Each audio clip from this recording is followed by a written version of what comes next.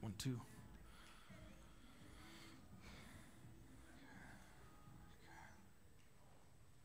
Terrific. Love it. All right. Well, let's do this. Um, what we're going to do, I'm going to ask you if you could uh, find your way to Genesis 3, and we're going to continue through this, this little walk through the early chapters of, of Genesis. And uh, we're gonna, I'm gonna, I'm gonna walk through, I'm gonna start by kind of doing a little presentation. We're gonna get into Genesis 3, and then I'm gonna, I'm gonna show you some stuff that essentially happens um, post Genesis 2. Uh, what happens to uh, this, uh, this, this picture of human, uh, human sexuality. I, I, what I'm going to try to do is be done uh, around 11:45 with the presentation part, and then create some space for some questions and response up to this point. And that, what hopefully that'll do is uh, give just a little bit of uh, buffer space for anything that kind of is unresolved in just the creation theology side. And then after lunch, we're going to get into the specifics of what is for many of us a real, very important, what is for all of us a very important conversation around um, same-sex sexuality and how we think about that from a biblical theological uh, perspective. Okay, so um, let's let's let's begin though um, uh, by just recognizing um, as we as we as we look at human sexuality that we live in a in a very weird time. Um, these are uh, the gods. This is the god uh, Aphrodite. Um, in, in the ancient Greco-Roman uh, uh, uh, religious cult, there was a, a belief in a divine being who was essentially the god. Yes. I'm using NIV. Yep, you can utilize whatever. yeah, thank you. Great question. Any other questions before? Okay. Nobody's asked what shirt I'm wearing. Nice shoes. I feel, I feel like I'm, I'm, I'm looking good up here. Um, uh, Aphrodite uh, was the, the, the god of human sexuality and, uh, and, and pleasure. And I, I, bring up this image because um, w- one, of the, one of the things that, that uh, individuals who study ancient cosmologies uh, will point out, cosmology being your understanding of the beginning of the world, um, is, that, is that human cultures almost always tend to become the thing that they worship. Um, uh, for example, did you notice at the beginning of Genesis 1, did you notice? Well, you wouldn't notice unless you lived in the ancient world. In the ancient world, most cosmologies of various Canaanite religions, the Akkadians, the Babylonians, the Phoenicians, all these different religions, they almost always believed that there was some global, universal battle, war, and earth is the spoils of, of the victory. In essence, the earth is sort of the, the, the, the, the, the, the victor's spoil of what, what, what the winner got. And you notice, how did creation begin? Does it begin with a war? No, it begins with God speaking, which is a subtle jab at those ancient cosmologies. God did not create with war, he creates with words. So interesting, you know, Moses to bring water out of the rock, what does he do? He strikes the rock. So we call this biblical fracking. He strikes the rock to bring out the liquid. He uses an act of violence to create. So violence, so, so Moses uses the, when God had told him to speak to the rock, by the way. Um, there's a whole conversation to be had about why did Moses strike the rock rather than speak to it. And it actually turns out um, God had, back in Exodus 17, had also told Moses there to strike the rock and water would come out. And yet in Numbers, God tells him to speak to the rock and he strikes it. And of course, why does Moses, rather than speaking to the rock, strike it? It's very simple. Um, he had done this before. And rather than being obedient, he is doing what he knows works. So, so disobedience for Moses is, is actually doing what works. Put, put that in your theology. And, and as a pastor, you know exactly what I'm talking about. Of um, how often do we rely on our on what we know has worked in the past rather than being obedient to what God is saying today. This has nothing to do with what I was trying to say. So, in the ancient world, right, we all become what we worship. So, if your God is a God of violence who has to war to get the earth, what are you bound to do? To be a violent people. If you worship the God of sexuality, licentiousness, you do you, what are you bound to do? There's a line in the prophets in the Old Testament that says, um, um, th- there's this line that says something to the effect of, um, the people, uh, the people follow or worship what the priests worship. Right? We are shaped by what we're looking at. I bring this up to say, I mean, in, in many respects, I, I, I have to say, it feels to me like we have almost returned as a culture to Aphrodite worship, where the end goal is sexual expression and freedom and pleasure. Um, Aphrodite is, we would never say our culture, nobody in Portland is like, I worship the god Aphrodite. But you don't have to use the word Aphrodite to recognize that you're certainly worshiping something other than the God of the Bible. So, you know, in, in, in, in, a, in, in a way, go to the next slide. In, the, in a way, there's, there's this very interesting thing that happens um, in, in, the, in the text right after the humans are deceived. And I'm going to show you in just a second.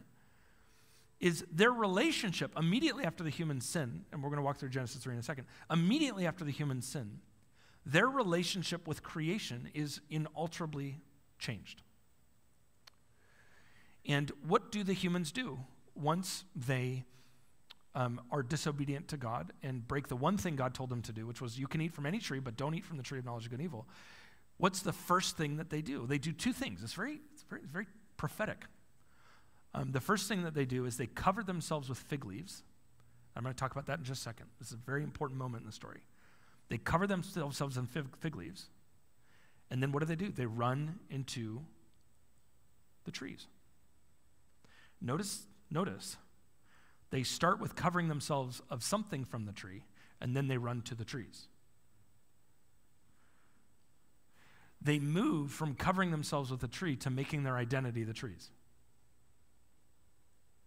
They run into the trees, and now as they run into the trees, Notice God comes to them, and that's a, that's a whole other cool part of the story is that God comes to them, but they have run into the trees. They have run to, away from the Lord. Notice that humans, when they sin, turn from the Creator to creation. And this is, this is captured by Paul's language. In Romans 1, um, what, what, you know, what Paul is saying when he says Romans 125, that classic line, is he's describing the human rebellion story. He, he's saying that when human beings turn away from God, they don't cease to exist, nor does God. What they do is they turn and worship created things rather than the Creator. Their new identity their sense of self, who they are, is no longer tied to the Creator. They now find themselves rooted in the creation. This, this shift in human culture uh, is, is, is absolutely central to understanding what happens to humans in a post Genesis 3 world is that you and I, in our state of rebellion, tend to turn to making created things our ultimate sense of identity. Uh, this is a, I'm going to give you a quote from a guy named Eric Voegelin, who is a political theorist. Um, and he, um, th- this has, by the way, become quite normative to hear uh, people talk about. So, but this, this was back in the 1970s. And Voegelin, in one of his books, he was kind of a theologian and a philosopher, but he has this line where he says, that one of the unique things that happens in a world where people no longer have religious lives, they no longer go to church, they no longer worship God, is that the secular person who used to worship God, when they stop worshiping God, they don't stop being worshipers, they have to find something else to worship. In, in Voegelin, who's a political theorist, he says actually what ends up happening is this destroys human society because eventually what happens is people begin to make their, their politics their religion. So he's here, he's talking about political theory, and he says, When God is invisible behind the world, the contents of the world will become new gods. When the symbols of transcendent religiosity are banned, new symbols become from the developed from the inner world language of science will take their place. Like the Christians, the inner worldly community has its apocalypse too. Yet the new apocalyptics insist that the symbols they create are scientific judgments. What, he, what he's saying here is he's saying that in a world that has, has been unhitched from the worship of God, that the impulse to worship must grab onto something. Nobody cannot worship. The human being must worship something. I mean, I, I, in many respects, friends, we, in the next 30, 40, 50 years, um, mark, your, mark, your, mark your calendars. Elections will just get harder. Because we are no longer talking about politics, we are talking about people's religious identity. Who you vote for now has nothing to do with your politics, it has to do with who you are as a person. Do you see what's going on here? Is that in the past we used to argue about theology and how to do worship and liturgy. But that's no longer our identity as a culture. So we have to find something else to be our identity. And in many respects, politics has played that role. It has filled the gap of true worship. Ronald Rolheiser is a Catholic theologian. Love his work. He's absolutely read everything he's, he's written. He says many people, while rejecting any explicit belief in God or any other absolute, invariably set up certain ideals as normative and then invest these ideals with an absoluteness that mimics and parallels every movement of religion. You move away from an explicit love of God and you still have an impulse to love something as though it is God. This has had a profound impact on human sexuality. Because it is, in the end, it is idolatry. Let's define idolatry, by the way. When you and I think of idolatry, we tend to think of worshiping bad things, right? You're worshiping evil, dark spirits, and worshiping uh, statues and idols and these sorts of things. Can that be idolatry? Yes. But more often than not, friends, idolatry is not humans worshiping evil things. More often than not, idolatry is humans worshiping good things of turning towards making good things their identity, their sense of self. This is how Dallas Willard defines identi- idolatry. He calls it a human attempt to use human means to achieve identity and power for the individual. We, we use politics as our idol because it gives us a sense of self. We use uh, our conversations about sexuality, that my sexual identity and expression is the truest thing about me. And, and a Christian understanding of identity has such a profoundly different understanding of human identity. You know, our, our, our, culture would say, "You do you." Here's my problem with that. You do you. Okay, well, okay. Let me let me flesh that out. I got to be very honest. I am very different on Mondays than I am on Fridays. And the kind of things I want on Friday mornings are very different than the things I want on Friday nights. If you're going to tell me you do you, here's my problem. What you do you want me to do? Because I keep changing. And if my you, friends, let's, I, there are some things I want to do that if I actually did them, it would destroy my family. It would annihilate trust. It would harm so many people. Let's be honest. Thank God I don't you do you. The last thing I should be doing is me. To say nothing of the fact that Jesus says that your job is to deny yourself and actually take up my cross. The Christian story is not about you doing you. The Christian story is about you not doing you and doing what Jesus says. Human idolatry is to say, I, am not going to take what God has said about myself. I'm going to do what, what I want my, my identity to be. And, and, and ultimately, the, the, the devastation that comes with that decision is a generation of young people who have endless anxiety and angst because who they are keeps changing from day to day. If you're going to tell somebody to be you and you're a sinner, God, that is, that is hell on earth. No wonder teenagers are taking their lives. That is an unsustainable way to live a human life. This has had huge effects on human sexuality. And, and by the way, I'm going to give to you some, some, some language from somebody who's not even a Christian. So just to make, my, to make this as, as solid of a point as possible so you realize this is not just some, some guy up on a stage who loves the Bible making this case. This is Ernest Becker's book, The Den- Denial of Death. I don't know if you've read this book. It won the Pulitzer Prize back in the 1990s. Ernest, Beck, Ernest Becker is, a, is an atheist. He is not interested in any way, shape, or form to try to convince you that a Christian human sexual ethic is a good ethic.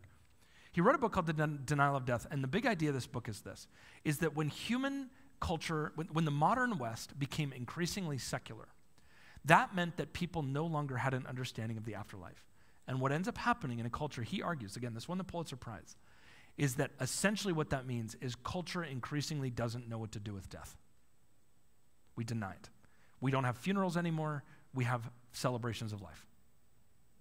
Nobody dies, they're with us, they're in our hearts. And the whole, the whole premise of this book is that what happens in secular culture is that we don't know what to do with death when you don't have an afterlife. It's actually it's a very it's a brilliant book. And Charles, I'm, I'm going to guess you read it, given how much you're nodding up here. Okay, go read it. It's fabulous, fabulous book. In the middle of the book, he talks about sex. And this is what he says. He, he, and it's almost a throwaway line, but you got to pay close attention to it. He's talking about how we don't know how to deal with, with death when we no longer have God. And he says the same thing happens with romance. Is that eventually what happens is you know, if you no longer worship God, you will eventually begin to make romance, sex, and intimacy your new God. And, and, this is what he's talking. He's talking about a guy who's made his way into his counseling office, and how um, and how he is expected to be the hero, perfect, because his wife needs him to be her God. And he says this. This man still needed to feel heroic, to know that his life mattered in the scheme of things. He still had to merge himself with some higher self absorbing meaning in trust and gratitude. Because if he no longer had God, how was he to do this? One of the first ways was the romantic solution. The self glorification that he needed in his innermost nature, he now looked for in the love partner. The love partner becomes the divine ideal within which to fill one's life. All spiritual and moral needs now become focused on one individual. In one word, the love object is God. Man reached for a thou when the worldview of the great religious community overseen by God had died. The failure of romantic love in the modern secular West as a solution to human problems is so much a part of the modern man's frustration. No human relationship can bear the burden of godhood. However, much we may b- uh, idealize and idolize the person we love, he inevitably reflects earthly decay and imperfection. Listen to this. If your partner is your all, then any shortcoming in him becomes a major threat to you. What he is, he is describing, friends, why so many of the young people that I serve are having the most difficult time finding somebody to marry. Because we have turned romance into the ideal divine experience. My, my, I've been married now for 21 years. My wife has had a lot of time to think about her decision. And I will tell you right now the only reason our marriage has made it is because she loves Jesus more than she loves me. And the only reason that our marriage has worked is because I love God more than I love my wife. And if I no longer believed in, in God, I can tell you our marriage would not work because I would turn her into my God, and she is a horrible God. and I'm a horrible God. But when you no longer have a God, you have to have some God. No wonder marriages don't work today. We are worshiping, we are sleeping with our God. And it doesn't work.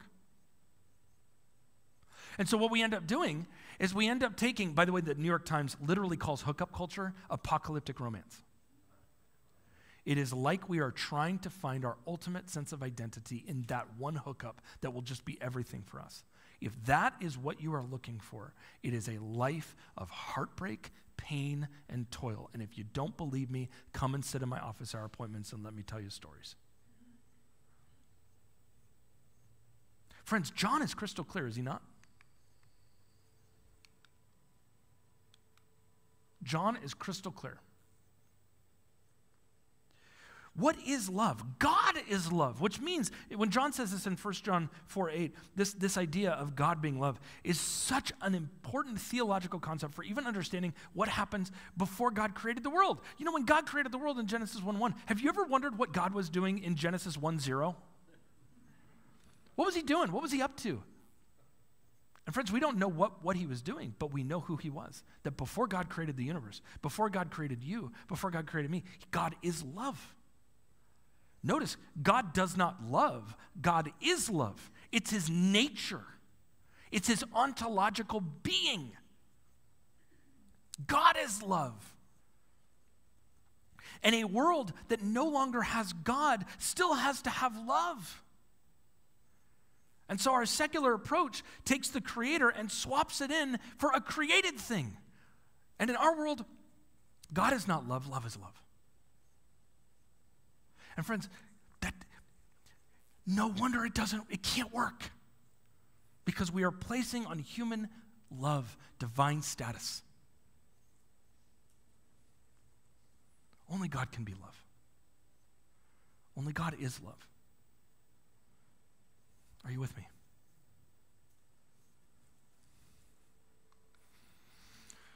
So, what happens after the garden?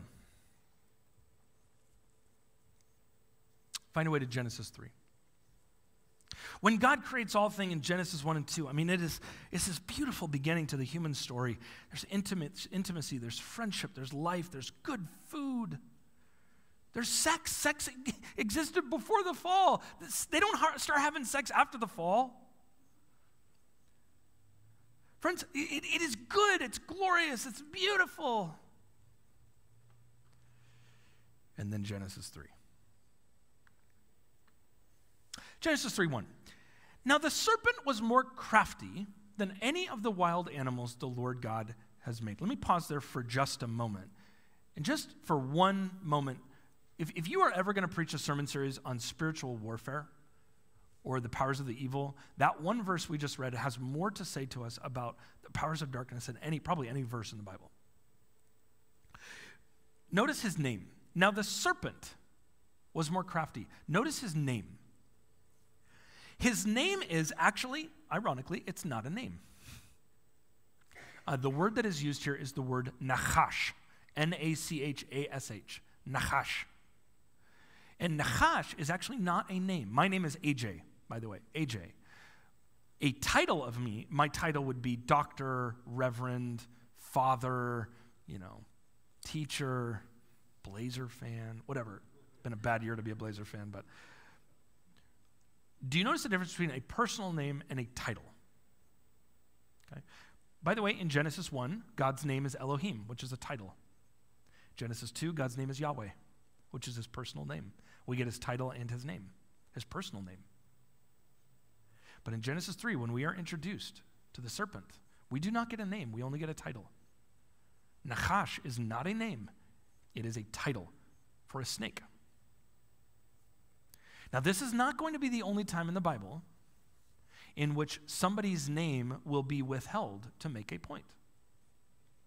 For example, go to Exodus chapter 1, and you'll notice that Pharaoh commands all the baby boys to be killed, all the children to be killed. And there are these Hebrew midwives, Shiphrah and Puah. Do you remember these two Hebrew midwives who saved the lives of the babies? Now, when you think, okay, that's an interesting story, Pharaoh orders the killing of the children. But guess what? Is Pharaoh a name? It's a title. In fact, there were hundreds of pharaohs. The Bible never tells us his name. This is interesting because the Bible doesn't tell us the name of Pharaoh, but it does give us the name of two Hebrew midwives that saved babies. This is called biblical trash talk. and what the author is doing is saying the, the only ones that are worth remembering are the Hebrew women who saved the babies. Pharaoh is just another Pharaoh. His name is Nachash. That's his title. He goes unnamed. The Bible actually never gives us his name. His name is not Lucifer. That is a Latin translation of morning star from the book of, uh, from one of the prophets. That's not his name.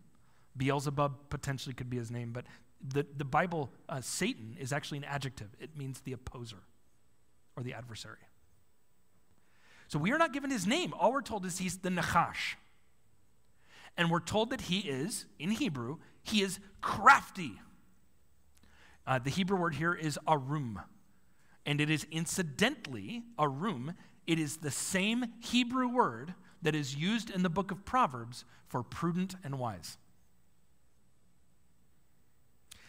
Now, this goes against much of what we were taught is that the Satan figure is stupid, he's, is, he's ignorant, he's dumb. when in reality, the first time he is described is he's actually described as brilliant. He's very wise. He's not wise in the God sense, he's wise in a dark sense. There is an evil wisdom that is self centered and not centered on God. He's brilliant, he's crafty. And then the author says, you saw, that he was more crafty than any of the other wild animals the Lord God had made. Who created the serpent? God did. Now, the debate, of course, is did he create him evil? No, he didn't create him evil. So the serpent was a good creature before he fell, which means that he comes into the garden having already gone through some kind of fall.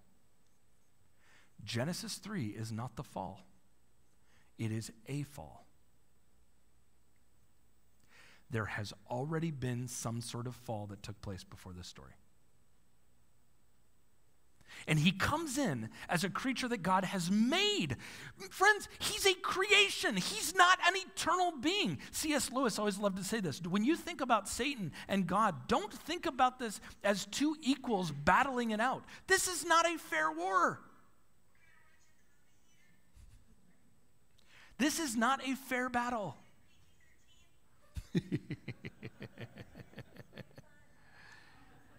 This is not a fair battle. This is a battle between a creator and a creation. It's not a fair fight. God made this guy. So he comes in. He's coming in hot because he's already gone through some fall. And he says to the woman, Did God really say you must not eat from any tree in the garden? Which is, of course, something God never told her. Nor did God tell the man. God, in fact, God had said you could eat from any tree in the garden except from one. And so the woman says to the serpent, We may eat fruit from the trees in the garden, but God did say you must eat, not eat from the tree that's in the middle of the garden, and we must not touch it, or we will die. And you will notice, and you probably preached on this at some point, is that the woman at this moment in time has just added something to the commandment of God. God had never said, You must not touch it. They could have built a treehouse in the tree of knowledge of good and evil, and I think God would have been fine with it. He said, she never, he never says, don't touch it. And she, in the words of uh, Frederick Dale Bruner, who's one of my favorite commentators, uh, he says, uh, the woman in this story, and by the way, don't think I'm going to bash women here because the dude has a very clear part in this story. Um, but she becomes the first Pharisee in the Bible, adding to God's word. So she has added to what God had said that you should not eat. And if you notice in the Bible, every time there is something added to God's word, the serpent is always nearby. In the Garden of Eden, and in Matthew chapter 4, when Jesus goes into the desert and is tempted by the serpent, if you look at the serpent's quotations of the Old Testament, he either adds or omits lines from the Psalms when he is twisting his point. So, whenever something is added or subtracted from Scripture, the serpent is always nearby. Whenever something is added or subtracted from Scripture, something is, the serpent is nearby. I'm going to say that again. When something is added or subtracted to Scripture, the serpent is somewhere nearby.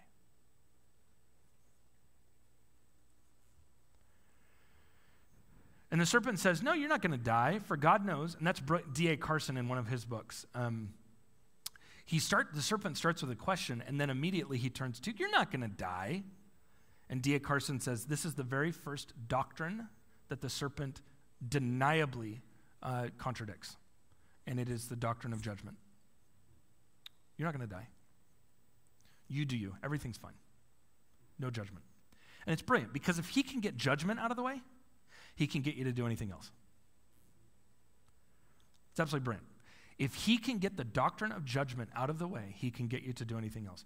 Um, I, I, may sound, I, I, don't know, again, I'm, I, I don't know you all. I know Charles, I know a few of you, but um, this is actually why um, I, I, would argue Genesis 3 is the greatest argument for why you and I must guard and protect the doctrine of hell.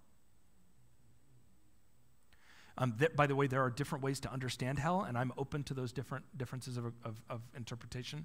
But what we cannot do is say there is no judgment, because that is exactly what the serpent does. No judgment. Because if he can get this judgment out of the way, he can get you to do anything. Are, are you with me? When you realize that you are accountable to God and will actually give account, it changes the way you live your life.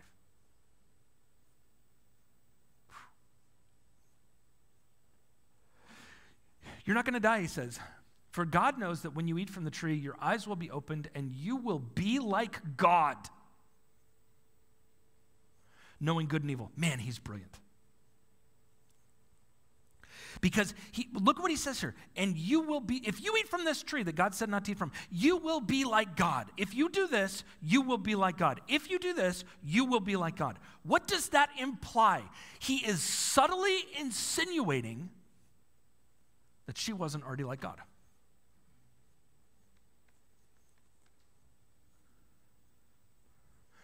Go, go to Matthew 4. Jesus in the desert. And the serpent comes to Jesus and says to Jesus, If you bow down and worship me, the serpent says to Jesus, If you bow down and worship me, what does the serpent tell Jesus? If you bow down and worship me, the serpent tells him what? I will give you the the nations. What does that subtly imply? That Jesus doesn't already have them. And I want you to notice from Genesis 3 to Matthew 4, it's the same temptation. If you do what I say, I will give you something. The devil's number one gift is he always offers us something we already have in Christ. And it is baked into our culture's conversation about sexuality. If you embrace this part of you, you will find your identity. The assumption is you don't already have an identity.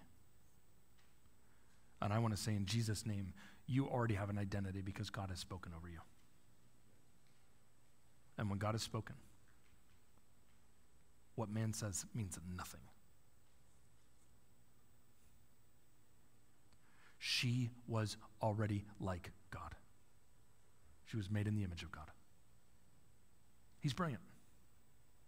He's absolutely brilliant. When the woman saw that the fruit of the tree was good for food, pleasing to the eye, and also desirable for gaining wisdom, she took and she ate. She also gave some to her husband who was with her, and he ate.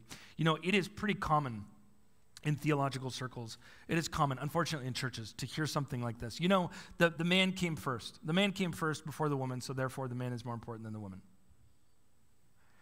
Um, uh, okay. Well, if you're going to say that, then you must be ready to say um, that jellyfish are more important than men because they came before the man. The logic breaks down pretty quick when you say that because somebody came first, they're more important than the other. No, the man is not more important than the man. They are both important equally before God, created in the image of God. There would be another side that would say something like this Man, had the woman not listened to the serpent, we wouldn't be in this predicament and it's used as sort of a subtle jab at women for being failures, and you're the ones, you're the reason we've all fallen. And I just want to point out to you, friends yes, the woman's first sin was that she added to what God had said. But if you read very carefully, verse 6, who was standing there the entire time? The man was watching. The woman's first sin is that she added to what God said, but the man's first sin is passivity. He watches. And if I had a dollar for every therapist in my life who has sat with young men who had dads who weren't there but were just working or spent their life watching TV, we are playing this story out over and over and over again. The man was right there. And the eyes of both of them were open and they were naked. Verse 7. And look what they do. Oh my gosh. Oh, makes me want to cry. So they sewed fig leaves together and made a covering.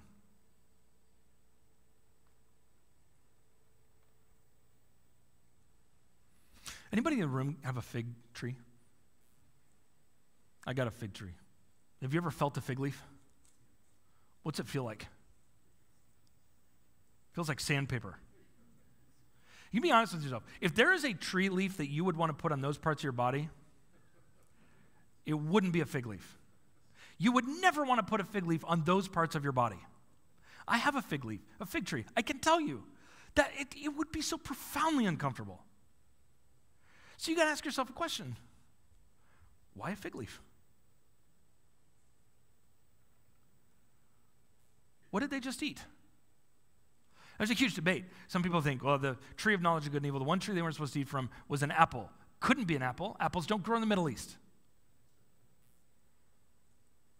Some people think a pomegranate. It could have been a pomegranate. I think the text tells us. What did they just eat from? You would never put those leaves on your body unless you were standing right there. They are immediately covering their shame with a fig leaf.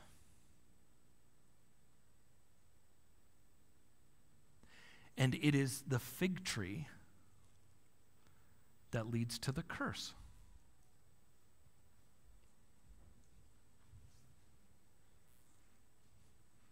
Just a few weeks ago, we celebrated Easter. And as Jesus walks into Jerusalem, there's a tree that Jesus curses. What kind of tree was that? What is Jesus undoing? He is undoing, he is cursing the tree that led to the curse. But notice they clothe themselves with fig leaves. Pay close attention. I told you in our first session, and I know you were hearing, you were listening. I saw note takers. I made the case who invented diversity? Who created a world where species were different? Who created a world where a man's body and a woman's body are different? Who created the difference between bone structures and brain structures and emotions and bodies and sexual desires? Who created the difference? God made that. And the first thing humans do after the fall is they cover up their differences.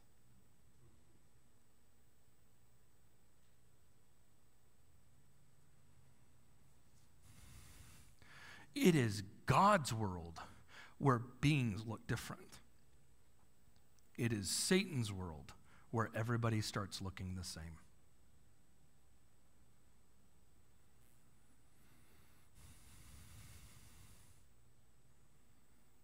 I can have, friends, I can have profound grace on my friends who wrestle with gender dys- dysphoria. And I do. I have students who wrestle with gender dysphoria who feel like they are in the wrong body. I have profound compassion. And I, friends, the, we don't serve anybody by belittling people's experience. There are people that wake up in the, in the morning that feel like they are in, a, in the wrong body. But I got to tell you, hands down, my greatest anger and frustration about the concept of transgender ideology and, and, and uh, uh gender transgenderism as a whole is it is an implicit message you were born wrong.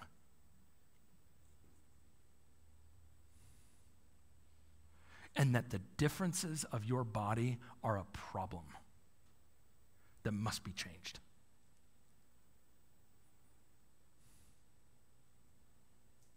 We are creating a sexless, genderless world where there is no beautiful difference between a man and a woman.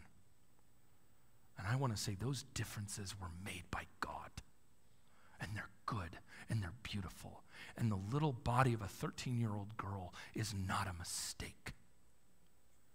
And the boy of a 15, little 15 year old boy who thinks that his body is a mistake. No, God doesn't make bad stuff. That is what humans do, is that we want to cover the differences because the differences of God are our glory. They're our glory. Notice that the serpent does not come after God because the serpent can't do anything about God's glory. The only thing the serpent can do is to go after the beings that reflect God's glory. Serpent can't do anything about God's glory, but he can come after those that that, that reveal God's glory. There's an assault on the human person. I want my 12 year old son to wake up in the morning and know that that little body God has put him in is a beautiful, glorious body, and that he is not a mistake.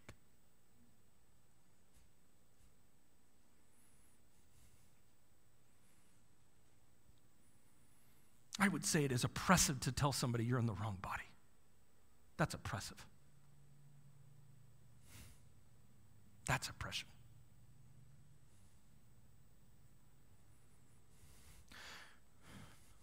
Did you know the earliest Christians? True story. Did you know the earliest Christians? when you and I get baptized, you know we do the robe thing. We get like hot tub baptismals and stuff at churches. We like we get these hot tubs and put on the robes and stuff. Did you know this? That for the first 300 years of the church, when you became a Christian, they would take you down to a river and you would get baptized naked Because when you're in Jesus, you are back to your shameless state.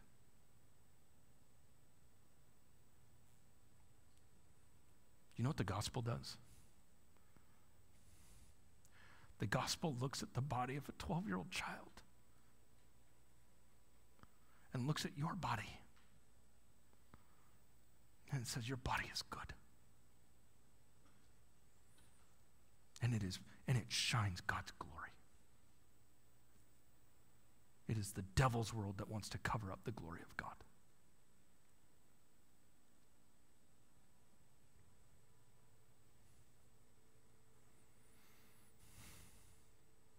The man and his wife heard the sound of the Lord God as he was walking in the garden in the cool of the day. They could hear him because he was actually there. But the Lord called to the man. He says, Where are you? This is so. God comes to them. God comes to them.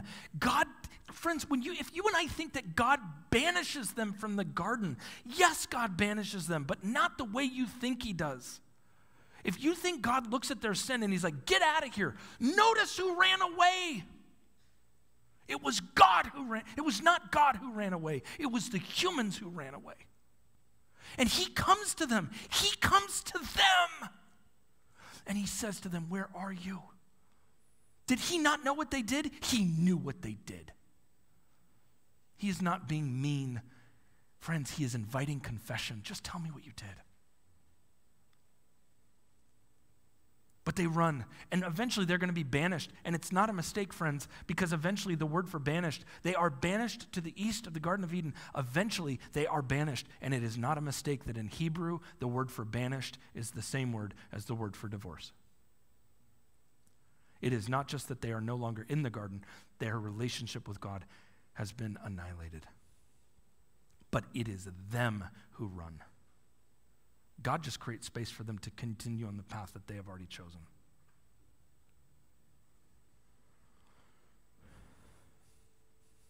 He answered, I heard in the garden, and it was I was afraid because I was naked, so I hid. And and then God says, Who told you that you're naked? Have you eaten from the tree that I commanded you not to eat from? And the man said, The woman you put me here, she gave me some of the fruit. And all of a sudden you begin to notice the war between the sexes what was intended to be a relationship of mutuality, kindness, love, and mercy turns to enmity and hatred. She did it. She did it. Then the Lord says to the woman, What is this you've done? What does she say? She blames the serpent. He did it. The serpent told me to do it, and I ate. So the Lord God said to the serpent, Because you've done this, cursed are you above all livestock and all the wild animals. He, he, curses, he curses the, the serpent. He doesn't curse the humans. He just he, he tells them this, the, the response of what is going to happen. The man will rule over you, which is not something God wants. It's what will happen in a world formed by sin and darkness. Verse 21 is the last part I want to read. So the Lord God made garments of skin for Adam and his wife, and he clothed them. They had already clothed themselves. This is interesting. Why would God need to clothe them as well? I ran away from home once when I was 14. Um, I'd never run away, but I'd seen people on TV do it. And so I got a can of tuna fish, and uh, I put it in a little knapsack my, with a stick because I thought that's what you did. And I left the house. And I go and sit under a tree in a park behind my house for one hour and then realized I was hungry and I didn't have a can opener. So I was back home very quickly. Um, you have two humans here who are running away, and you have a God who is blessing them as they run away. And I want you to notice, you just saw the very first thing in the Bible. It's never happened before. God makes garments of skin for the humans. What just happened for the very first time in the Bible? There's been a death. And you will notice from here on out in the Bible, every time there's forgiveness, mercy, and grace, there is always blood.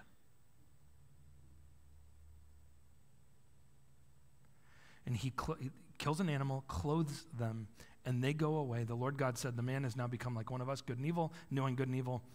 And he banishes them out of the Garden of Eden to work the ground from which you have been taken. If you would um, go to the next slide. Or, I'm sorry, I've got my own slides here. I want you to see three things that happen as a result of sin. And friends, this impacts human sexuality on such a deep, reverberating, clear level. Number one is the humans, after the fall, their first move is that they reject the differences that God has created them with. They cover themselves with fig leaves. Heterogeneity becomes the mark of God's world, but homogeneity is the mark of the serpent's world, a world where nobody is different, everybody looks the same. And God's now vision of a world where God's glory is revealed through the differences of the man and the woman now become covered over, and the result is they now look the same. Immediately after this story, if you were to continue to read Genesis 2, you would find in the very next chapter, friends. This is Genesis 4. The very first line, by the way, is really interesting. Genesis 4 1 says, Adam made love to his wife. This creates a problem. What did we never see in the Garden of Eden? There was no marriage ceremony.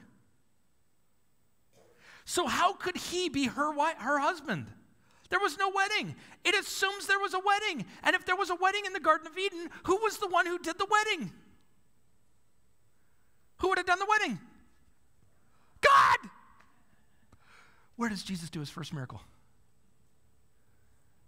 At a wedding. This is a God who loves weddings. He created it and he makes a wedding the first place where he does the first miracle. Friends, marriage is God's idea. And the idea of the marriage between a man and a woman, that is God's design. God made it, it's God's vision. And God made a world in which a man and a woman would be married for life. This is the vision of God. And it cannot be a mistake because in the next chapter, one of the descendants from Cain and Abel, Cain kills Abel. The first thing that happens after the Garden of Eden is a murder. I mean, you would think that humans would take a little time to get into their iniquity. They do a swan dive. They just jump right on in. We're just going to start killing each other. And the next story, murder, the next story is that the son of Cain, Lamech, marries two women.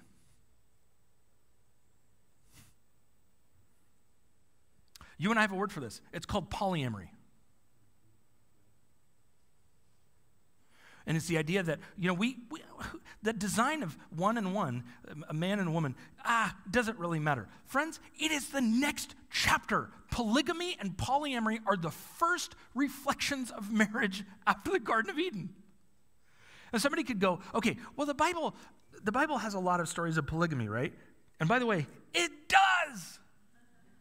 I had a student who said to me once, I said, they said, Do you realize how many polygamists there are in the Bible? And I said, Yes. And he goes, Does that mean we can be? Because the truth is, all of them are. Abraham, Isaac, Jacob, everyone, your heroes were all polygamists.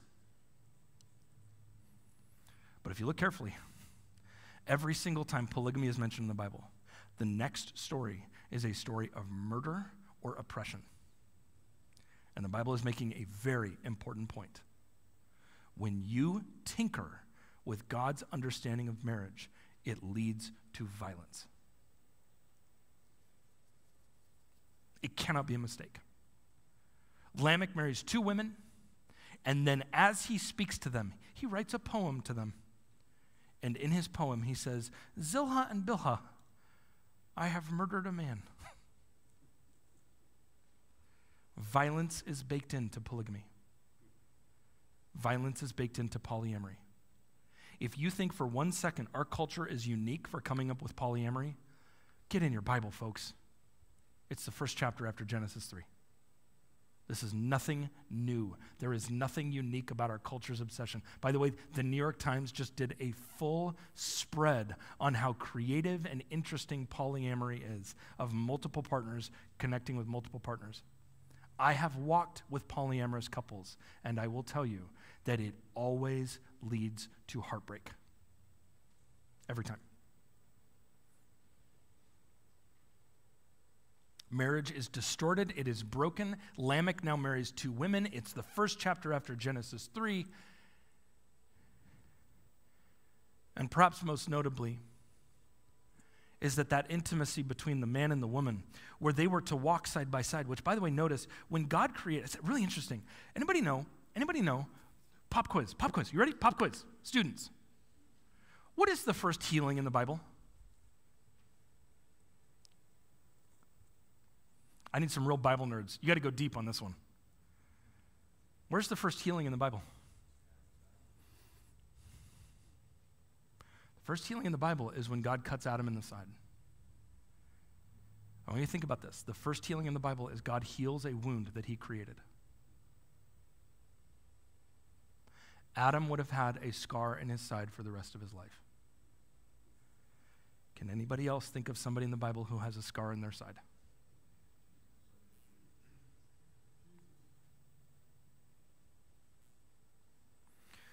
In fact, when the woman was created out of the man, the man is cut and is created the first bride. And when Jesus is cut in the side, the bride of Christ is being created.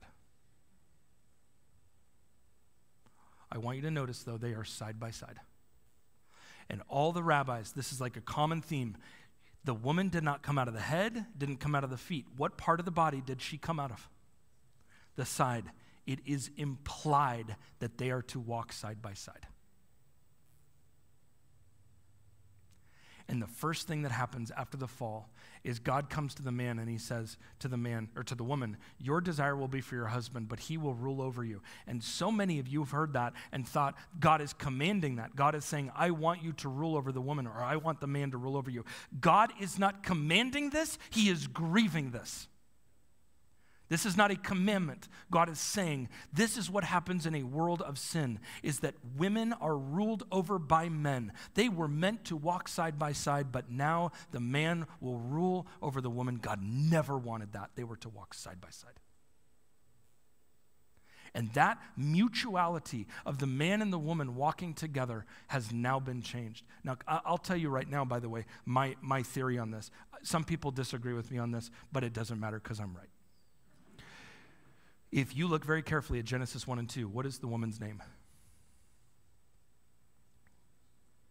What is her name? What is, I'll ask you this what is she never called? She is not Eve.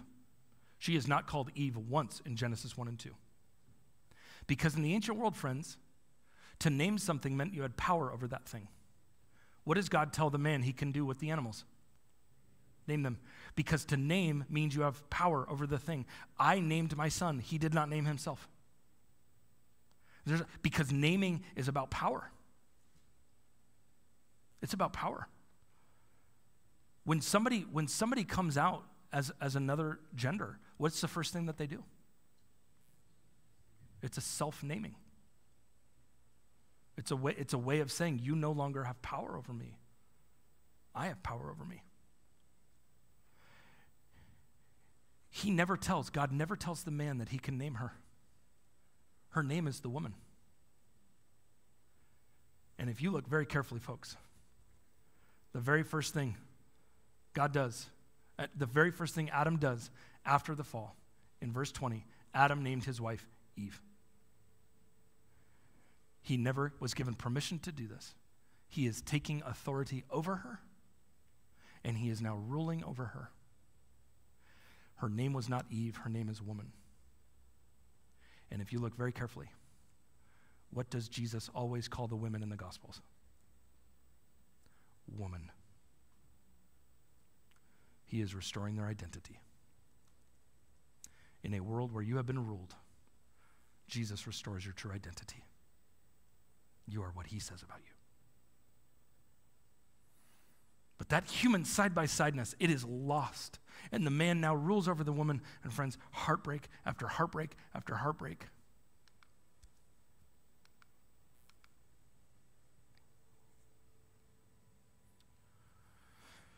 Um, what I'm trying to get you to see here is that the world that God created had a world where sexuality was beautiful, it was glorious, it was good, it was what God wanted. It was guarded, it was protected, it had boundaries. It was good, it was good, it brought life. And you get one chapter in to the fall. And God's design for marriage, friends, it crumbles in a chapter. And we have had thousands and thousands of years of getting to see what that world looks like. And what you and I are seeing on the news, what we're seeing in our classrooms, what we're seeing in our church, friends, this is not just our culture running, going weird. This is what happens when we do life without God. And it's horrible. It's horrible. We really need Jesus.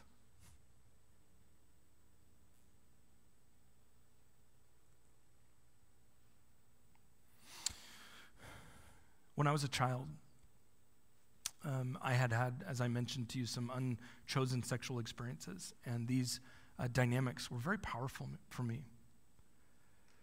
and have been very powerful for me. I've, I've wrestled with sexual desires my entire adult life that I wish that I did not have, and I know without a question they are the result of those experiences and not having a dad in the room when I was a kid. I know that. And those, those internal desires have been, have been extraordinarily painful for me since I met Jesus.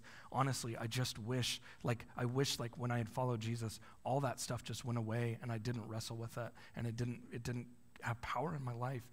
And, and it, it has, it just, it just, it, for years, it just, it won't get, it doesn't go away. And two Decembers ago, I made the most important decision of my adult life uh, I hired my therapist for four days to go away with, with me for three days, for four days, to simply let me tell the stories of what happened to me as a kid because I'd never dealt with it.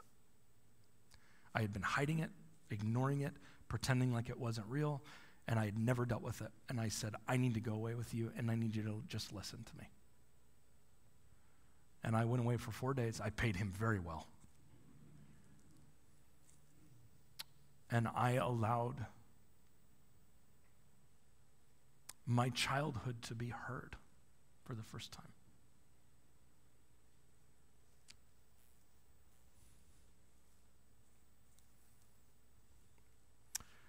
As I was driving home from this experience, you, you remember when um, you remember when Jesus said the phrase? He said, "Let the children come to me."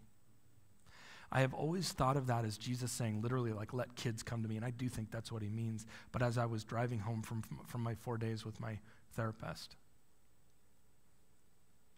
I sensed the Lord interrupt me with a new way to imagine that teaching.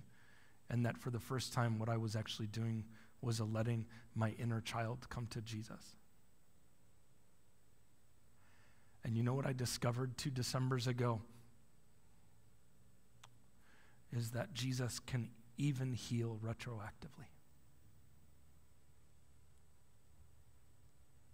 We just must be willing to come.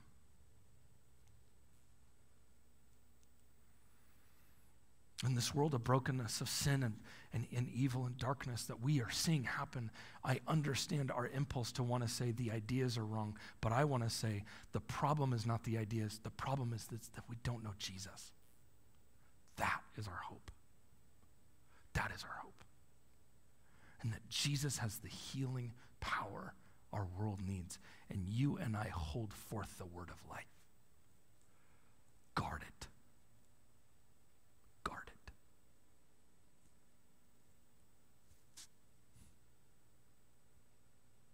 I want to take some questions. Um, I, I, we just ripped the band aid off for nearly three hours, and I probably offended all of you multiple times. Um, or at least alienated you on some level. So let's create some space for questions. And then we're going to do some lunch, and then we're going to keep, keep going. Are you finding this helpful? Okay. Yeah, do we have a mic somewhere? Ah, here we go. There's that. Uh, what I ask, just raise your hand. And if I said something or you want clarification or you want to, you name it. Come on, you're Baptist. You know how to ask good questions. Give me your, if you could, your name oh, too, just so. My I, name is Andrew. Hi, Andrew. So, how do you balance grace and truth when hmm. someone, you know, wants to be identified by other pronouns? Yes. Do you go along with what they want? Call them. Oh my goodness. She, he, as opposed to their gender, yep. or yep. do you? On the side of grace and yep. call them what they want. Um, what's your name? Andrew. Andrew, thank you.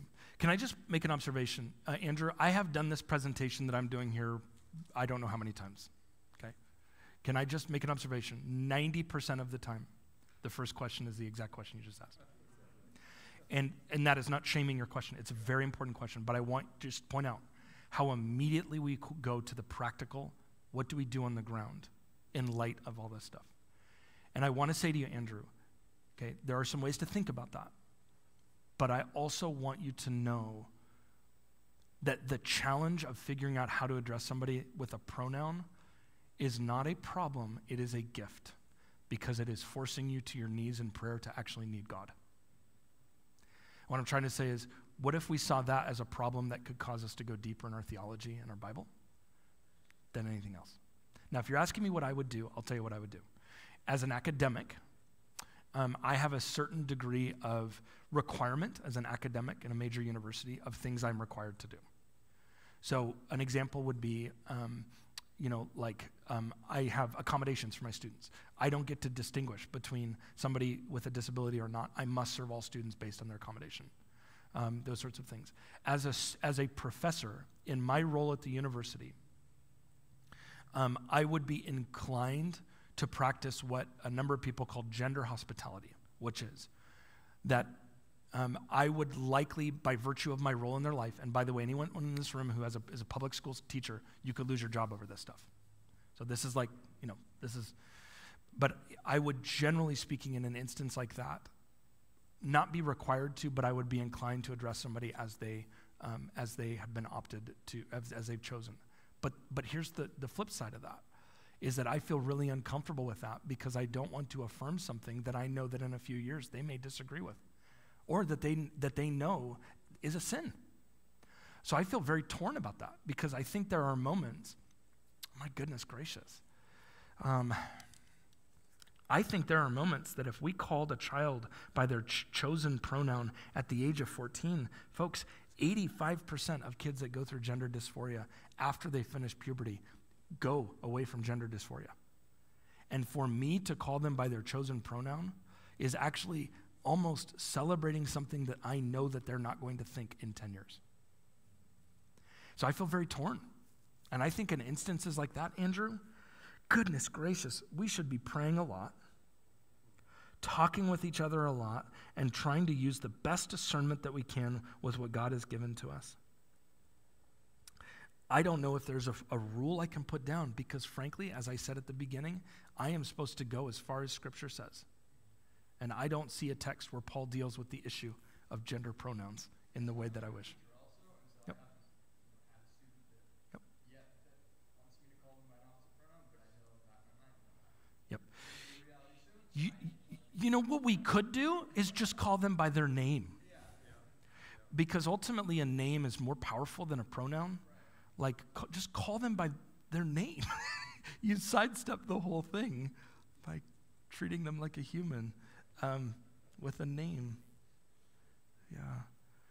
So I'm, I'm, really, I'm really torn on this. I mean, um, I have friends like Preston Sprinkle, who's a very close friend of mine, who would practice something he calls gender hospitality, which is that it's, it's actually a sign of your hospitality to call somebody by the name they're chosen. But if you look at somebody like a, a Rosaria Butterfield, she would say that's a sin to do that. Um, and I don't like it. I'm, I'm, I'm a little, uh, yeah. Um, I think we need a little time to process this as a church. Like, let's, it's brand new. we should take some. Yeah, yeah, yeah, yeah, yeah. Here's my thoughts. It's wildly complicated. Yeah, and it requires a spirit-anointed person to trust in God, to actually get on your face in prayer and ask God for God's help. Would you please? Yeah. What, uh, can we get a, a microphone? Yeah. Ah, like a legal name change. Yes. That um, I, she, she went to her counselor and said that I couldn't call her Yeah. uh, a she or he because, I mean, a she because she's a he. Yes. And so she went and changed her name in court, and so now she changed it from Marissa to Maxwell. Ah. So I guess you have to go by their name when they get it in court, right? Ah. But it's been a hard thing. Yes. And, and to add, what's your name? Sharon. Sharon. Thank you, Sharon. Have, And I have a transgender granddaughter, and then I have a grandson, and they're both the same. He's gay, and they're Yes. both the same mom Ah, and sure. dad, my daughter. yes, So it's been a hard thing, yes. and they they want to be called what they are. But I've got a grandson that he's reaching out to me and my husband because we're his grandparents, and he's saying that when he's around us, because my husband didn't want to be around him at first. He was Ah, just yeah. It was too hard. But I too hard. said, I think we need to when he wants to be with us. We just tell Ah. him he can't come with his partner. He Ah. has to stay with us. Yes. He lives in Vancouver and I live in Chehalis. So what he done is told us that he feels different when he's with us, that he feels a happiness. Mm, So mm, um, mm. I, we're taking him to Canada, so I don't know how that's going to go. You know, I just told him I don't want him talking about the stuff with his partner. Yeah, I get it. It's just an awful thing. You know, I was Yeah. going to ask that same question. It's hard. You don't know what to do. So, Yeah. anyway, that's all. Yeah. Sharon, thank, Sharon, thank you for your vulnerability with all of us. No, thank you. Can, can I just, um, it, and it, it is, frankly, it is, it is uh, even more complicated by a new, a, a new thing that's going on, unfortunately, of uh, a trans or, or, or, or whatnot kids who are now cutting off parents and grandkids who do not go by what they, they say. And um, that is just, I, I, I mean, yeah, yeah. The grandson does. He likes to talk with us and be around us. So Yes. Yes. He doesn't talk about what goes on. He just says he's happier when he spends time with us. Yes, of course. He's even tried to quit drinking Huh. Huh. I told him he can't drink at the house because it caused a lot of problems. Yes. Yes. Well, Sharon, um, I think you're na- you're putting your finger on what many of us fe- like the affective feeling emotion to this. Here's what I feel when a student comes out to me is is I feel this deep sense of like um, not that they would say this, but I feel like should I change what I know is true in order to accommodate to this scenario? Like should I and this almost emotional pressure to, to, to bend on things that we know are true. And, and I would invite you in a, in a way like to embrace that as God's way of developing deep perseverance in you. Because what that, what that is doing to you, Sharon, is that is that is putting on full display are you are you going to hold faithfully what you know God has revealed? And those emotions are very powerful. And I just, but, but the minute we start making theological decisions based on emotions, that's such a dangerous trajectory. As hard as it is, Sharon, and some of, I have family members who are gay, my brother in law is gay, my, step, my stepbrother's gay, and we are together every Thanksgiving and Christmas, and yes, there are moments that are hard. But we do the world and our friends and our kids a service by remaining faithful till we know what we know what, what is true. Stay faithful, Sharon. As hard as it is. Yes.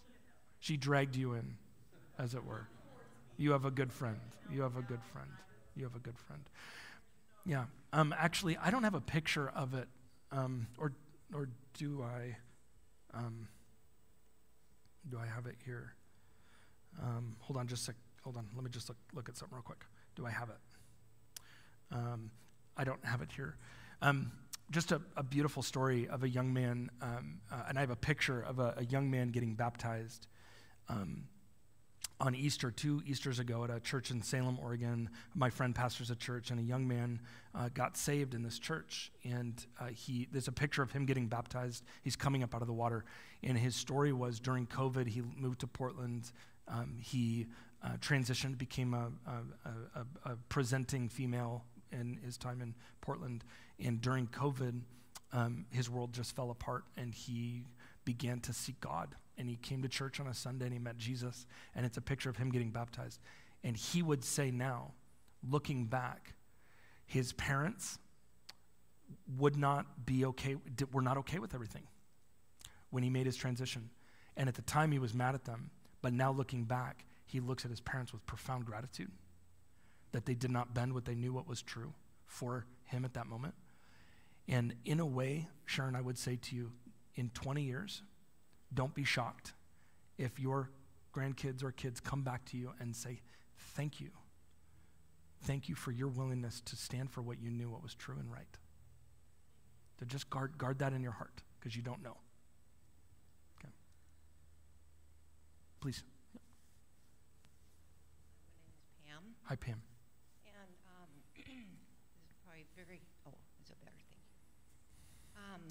come from an era in my life that uh, I believe in biblical values being the truth, just like we're talking here. Yep. Um, when I was growing up, homosexuality, we were put in prison. Say, say that one more time. Homosexuality, oh, sodomy. Would put you in prison. Yeah. They were put in prison yep. because that was a law. And that influence of people who live that lifestyle affects everybody, just like this lady here. Mm. It destroys families. My question is, we have a, a four-year-old grandson is going to be uh, before this, in his growing up years. Uh, our uh, daughter and, and son-in-law are doing what they can to keep him out of schools that promote this. Oh. As a society, I think we have the um, obligation to fight against this destructive lifestyle, just like we're talking about in the Bible. And uh, what can we do as a society to push back and not make this a compromising issue that's destroying everybody? Mm-hmm. We have we have that obligation, I think, under God to push back. I believe we love those people, but they have no right to push us into compromising what they're doing. Mm-hmm. And that's a real an issue I have uh, thought about for a long time. Because yeah. my own sister is in a homosexual relationship, and our daughter, uh, I didn't want her around her, mm. thinking that was something that was normal. And I think as a church and society, mm. we had to push back against this. Yeah. It's, it's yeah. no different than the sin of murder or, sin, but there's other sins that are, are bad. Yeah. But this one is destroying the fabric of our society. Yeah. And we need to do something about it as a church and as uh, our society. Okay. Thank you for your comment. Yeah, yeah, I don't have much to add to it, but thank you for sharing that. Yep.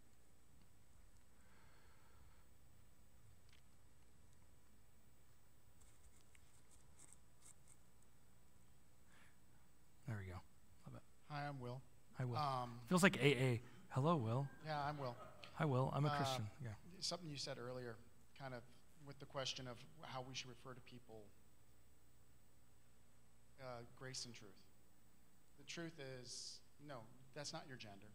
And I don't generally go around saying, hey, he is giving me a great, while I talk to him. That's not how pronouns work. Um, it's important to love people, but definitely don't dwell on the sin that they're doing. Dwell on God. Yeah. Yeah. Yeah. Thank you.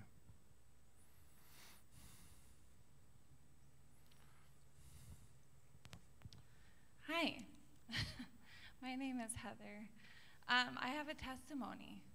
Yes. Um, I grew up in a in a family where my parents were very against uh, homosexuality. You'd be cut off. yes. You know, very extreme uh, Christian mindset. And so that's what I grew up around. The very judgmental. Mm. Um, I was um, I was a ballerina growing up, and became professional. And Wow. it's full of Yeah. all sorts of what we're talking about. Yep. And so I, as a Christian girl coming from a very conservative Christian family, um, I had to figure this out. Yep. And not that I haven't figured out, but my testimony is is that through showing God's love to to anyone, whether they no matter what who they sleep with and what they call themselves. I always found that if I spoke into them who I with what I kn- knew what was true, Mm. I would I, I wouldn't call them he, she, or even the name sometimes because they change it. I'd say, "Hey, beautiful, how are you doing?" Mm. Mm. You know, because I know that God made them beautiful. Wow. Mm. Or, "Hey, handsome," you know.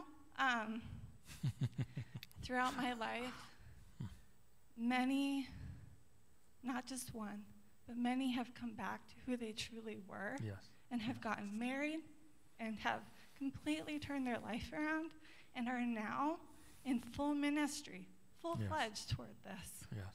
And it's all because they were shown God's love Yes. and were spoken the truth about them. My grandma was great because she didn't agree how how strict my parents were. That's a whole other thing. Mm. but they they always called people by what they saw God in them, Mm. in the whole neighborhood. And so I don't have an answer, Yeah. but I know school teachers that call peop- call the kids by nicknames that are Christ given Mhm. authoritative um, powers to them. You Yep. know what I mean? Yep. So I encourage everyone not to give up Yes. and to call people by the truth of what we know is true Yes. and, and godly. Yes. Yes. And my testimony is is it's always hard to figure out. And that's why you pray. A lot. Yes. but it changes life to speak life. Yes. So I don't know if that helps testimony. anything, Beautiful but testimony. you can call people out with with what God sees in them. Yeah. Yep. Yeah. Yeah. Thank thank you so much for your vulnerability and sharing that. Beautiful and handsome. I'm gonna steal that. Stealing that. That's great. It is lunchtime. Charles is hungry, guys.